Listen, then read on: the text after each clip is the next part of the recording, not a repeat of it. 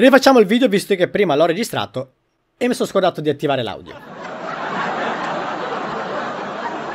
Ciao ragazzi! Benvenuti ragazzi in questo nuovo video, grazie per aver aperto il video e per il vostro interesse al mio canale. Ragazzi, come visto dal titolo, oggi andremo a vedere un'idea geniale per Clash Royale e sono sicuro che a tutti voi piacerà. E se vi piacerà ragazzi vi invito tutti quanti a lasciare un pollicione in su. Tantissima roba ragazzi, oggi andremo a vedere la modalità single player. Ebbene sì ragazzi l'ho creata. L'ho creata ed è venuta una cosa eccezionale. Per il momento penso sia l'editing più figo e più reale che io abbia mai fatto sul mio canale. Quindi andremo a vedere di che cosa si tratta. Tra pochissimo vi faccio vedere lo speed art. Ma prima di cominciare so che molti di voi mi chiederanno Amber ma gli sneak peek del 26 Ragazzi Ricordatevi che quando dico leaks vuol dire voci.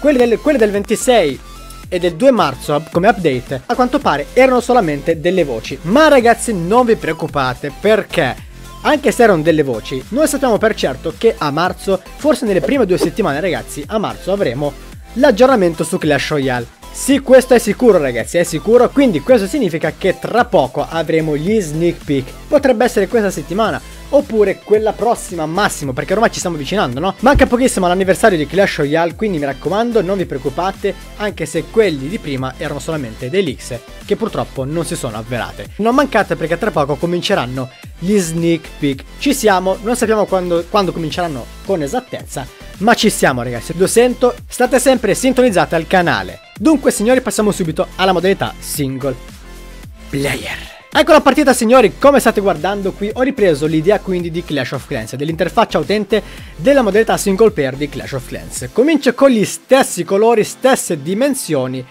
ma ragazzi state attenti perché per tutto il processo ci saranno dei cambiamenti drastici, come sempre, quindi da, da adesso fino anche al risultato finale ci saranno anche dei cambiamenti enormi. Non perdetevelo assolutamente e fatemi poi sapere cosa ne pensate. Adesso vi dico che cosa ragazzi ho pensato io, perché giustamente ho buttato giù questa idea.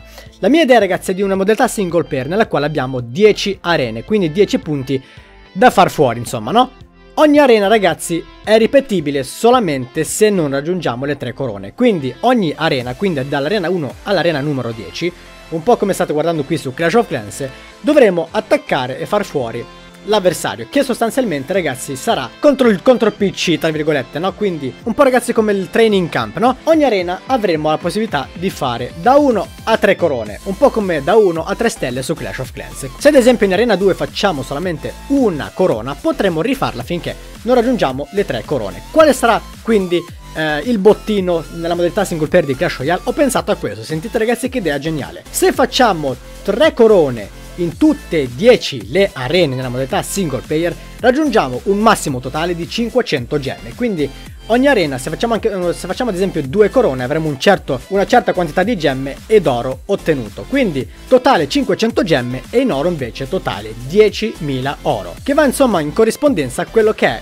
eh, l'offerta nello shop, o meglio il pacchetto nello shop attuale di Clash Royale. Quindi, ecco qui state guardando quindi che ho cominciato a creare gli obiettivi, insomma, tra virgolette, nel quale andremo ad attaccare. Poi passo anche chiaramente pu i puntini per, far, per far vedere, insomma, una sorta di tracciato come quello su Clash of Clans. Fatemi sapere cosa ne pensate voi qua sotto nei commenti. Potrebbe essere ovviamente una modalità, eh, voi, voi, direte sì ma dopo che ad esempio in un giorno facciamo tutto quanto e finiamo poi possiamo rifare tutto?